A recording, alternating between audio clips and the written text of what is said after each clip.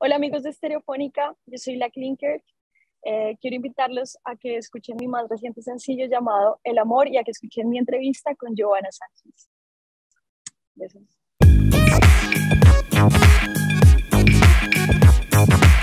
Bienvenidos nuevamente a este punto de encuentro con grandes artistas en Estereofónica. Hoy nos acompaña una artista colombiana, es guitarrista, cantautora, compositora, productora, la Clinker. Bienvenida a Estereofónica.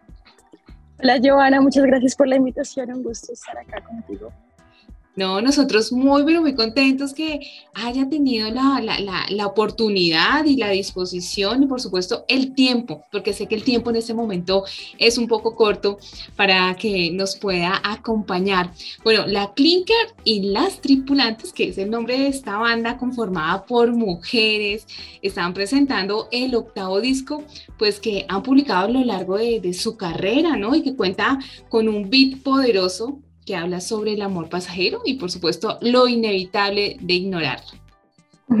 Sí, eh, este es el octavo sencillo. El disco viene en septiembre, pero sí, viene el próximo año. Em, este es el octavo sencillo que publico. Eh, Las Tripulantes es el nombre de mi banda. Eh, se dio que venir a, bueno, en este momento yo estoy trabajando en un barco, estoy tocando, soy la guitarrista de dos shows que ocurren en el Teatro del Barco. Uno se llama Six the Musical, que es teatro musical, y otro es un show con 12 bailarines en escena.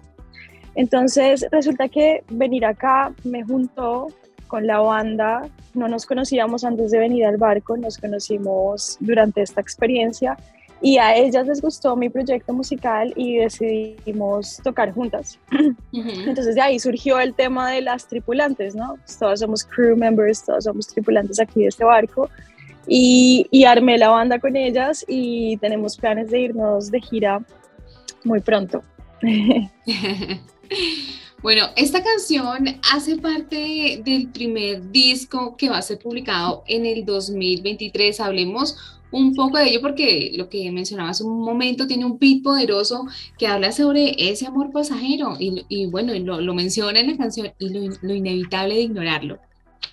Sí, la canción tiene una letra muy cortica, pero para mí es una letra que dice mucho, porque dice, el amor se hizo pasajero y no sé qué hacer para que se quede. Trato de ignorarlo, pero no puedo. Es un pensamiento muy recurrente.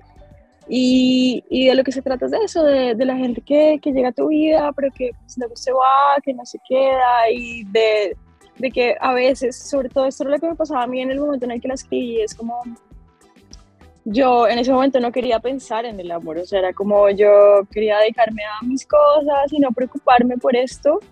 Eh, entonces, por eso dice, trato de ignorarlo, pero no puedo, es un pensamiento muy recurrente, pues porque claramente yo no quería darle la importancia que le estaba dando, pero igual lo tenía ahí como en loop en mi cabeza. Entonces, de eso se trata la canción.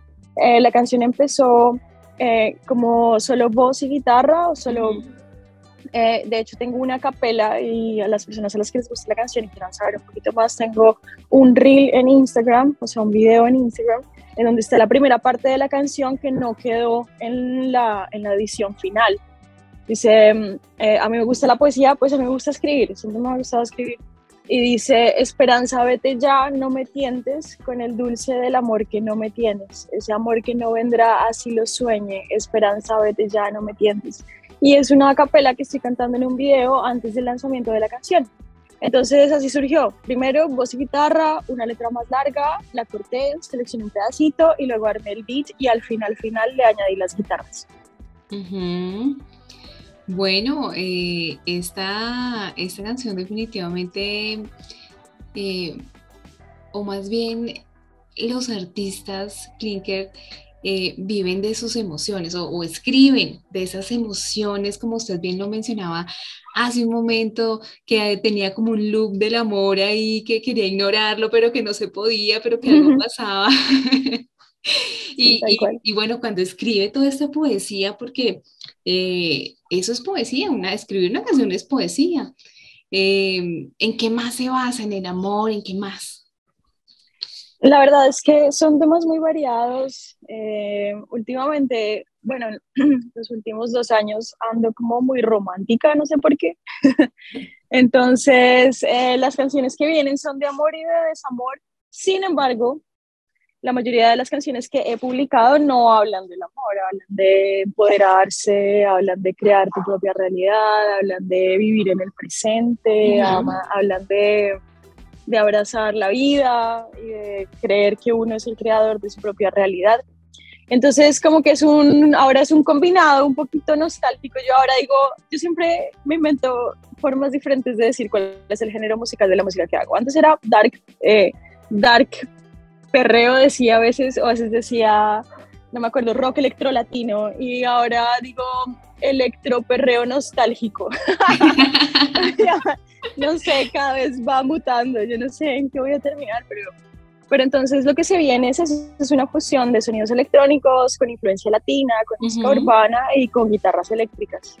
Claro, y es definitivamente como ese sello también que, que, está mostrando en esta, en esta primera canción de El Amor, porque tiene todos esos componentes, todas esas fusiones, y es muy interesante. También quiero preguntarle sobre, mm, eh, bueno, el, lugar donde hicieron el video, eh, cómo se llevó a cabo. Ay, esto fue genial porque es el primer video que hice con dos celulares. Sí. Entonces usamos dos celulares y me ayudaron tres amigas. Entonces estaban mis dos amigas, cada una con un celular y la otra andaba con una lucecita por ahí detrás. y fue genial porque es como mis mejores amigas del barco ayudándome a grabar el videoclip de mi canción en el teatro y los corredores que van hacia el teatro en el barco.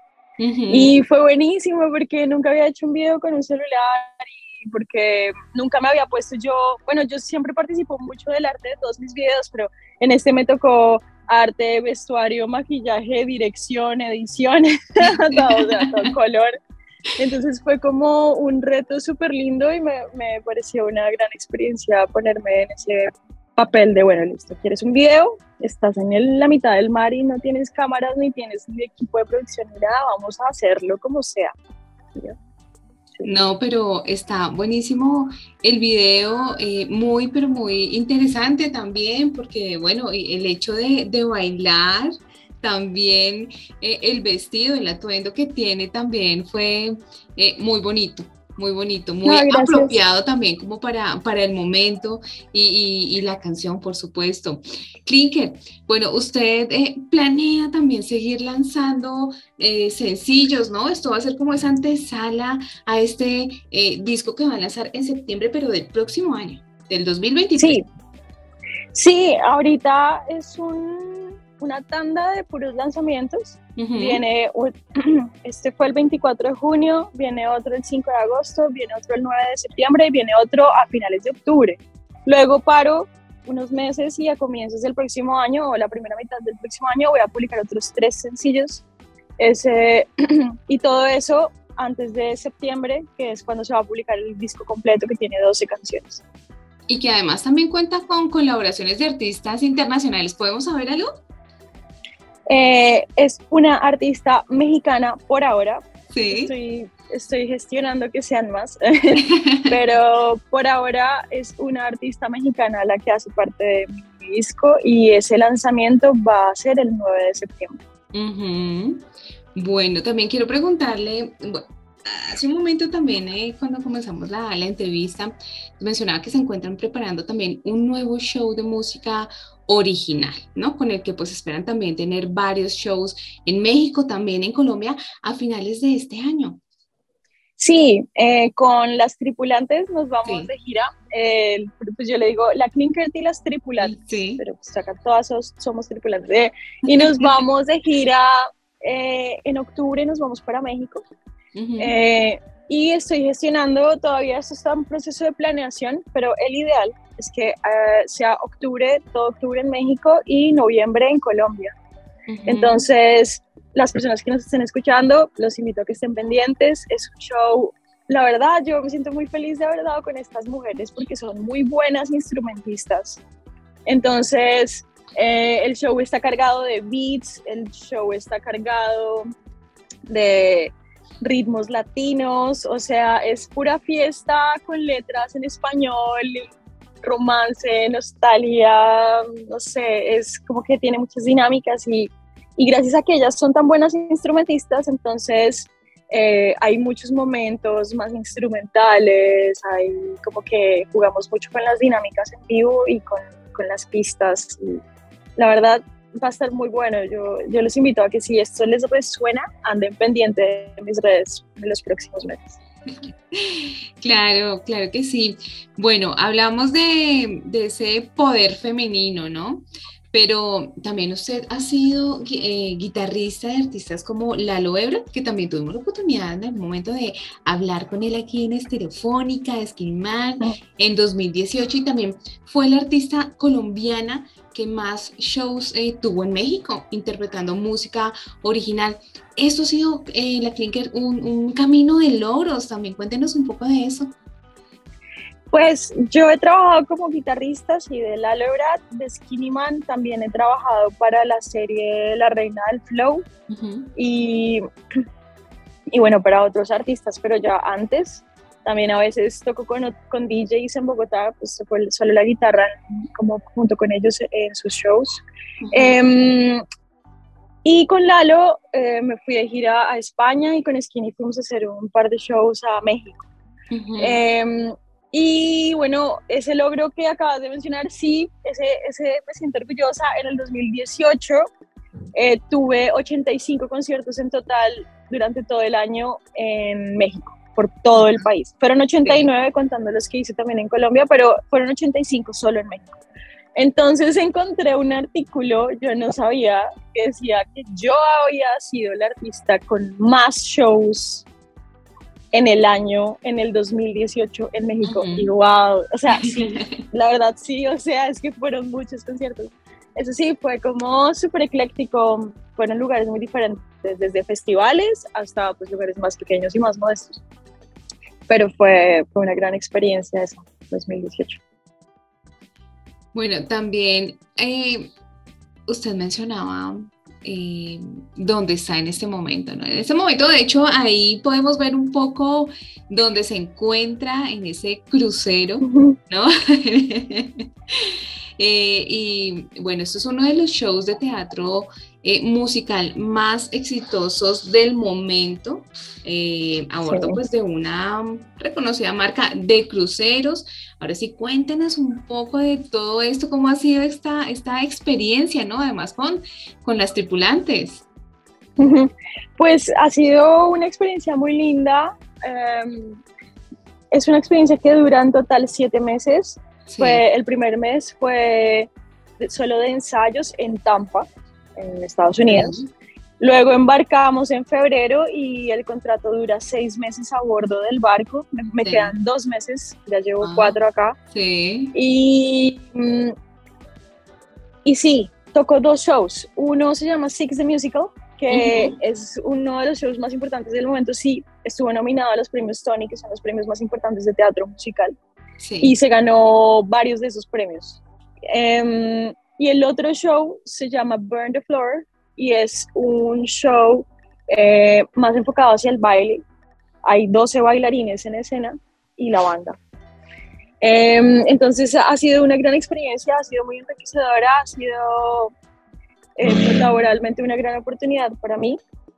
Em, y bueno, y también ha sido un reto porque tampoco es fácil dejarlo todo ¿no? Por siete meses, eso es como dejar tu vida, abandonar toda tu vida y dejarla por siete meses. Em, entonces, fue duro, ha sido un poco duro también.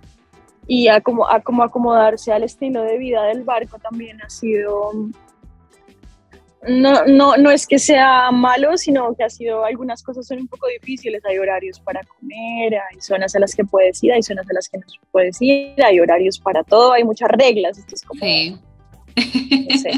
hay muchas reglas. Hay, muchas reglas, definitivamente. Sí, entonces es todo un tema, es todo un tema, pero a mí me ha gustado, yo me siento muy, muy afortunada y muy agradecida de poder estar viviendo esta oportunidad.